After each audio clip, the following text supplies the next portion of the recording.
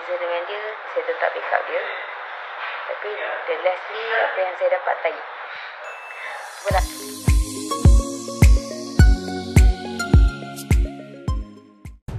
Sejak semalam hangat diperkatakan apabila ada individu mendakwa dirinya bekas pengurus peribadi Mak Wan Latah memuat naik video di aplikasi TikTok miliknya. Menerusi video dikongsikan, bekas pengurus peribadi dikenali sebagai Amel itu mendakwa akan membongkar siapa pelakon itu sebenarnya. Sementara itu memetik M-Star Online, Amel berkata, dia sudah lama menyimpan rahsia tentang pelakon itu, namun mendiamkan diri kerana menganggap wanita itu seperti ibunya sendiri. Bagaimanapun Amel berkata, dia mendedahkan video berkenaan kerana mendakwa turut menjadi mangsa perbuatan pelakon Sebelum tersebut. itu, jika anda masih baru di channel ini, jangan lupa tekan butang subscribe dan juga tombol loceng supaya anda tidak terlepas dari video-video menarik selepas ini.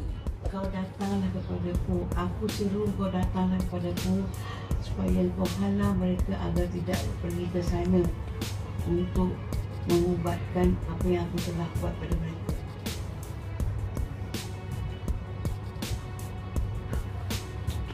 Tujuan saya dedahkan video tersebut kerana tidak mahu orang lain terkena sama seperti saya. Selama ini saya banyak simpan rahsia dia walaupun pernah dimaki hamun ketika di set penggambaran. Saya anggap dia seperti ibu sendiri dan menjaga dia kerana sebelum ini dia katakan dibuang keluarga sendiri.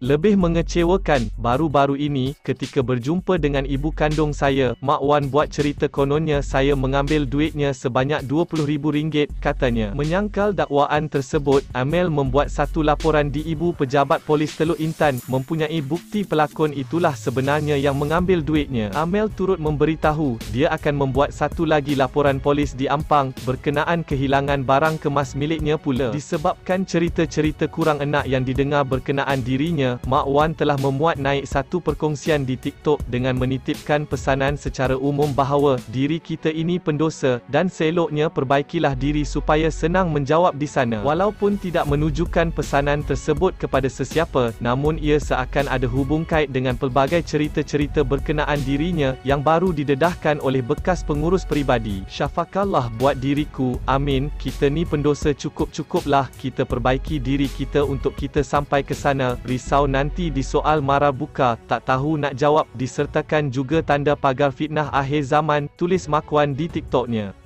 Eh, hari tu bukan you ke yang backup dia. Maaf tanya dia sebab nak bagi kepastian. Ya betul. Hari tu saya yang backup dia. Apa-apa juga yang provokasi dia antara netizen dengan dia, saya tetap backup dia. Tapi the lastly, apa yang saya dapat tahi. Itulah, saya nak cerita panjang-panjang bu. saya nak cerita panjang-panjang,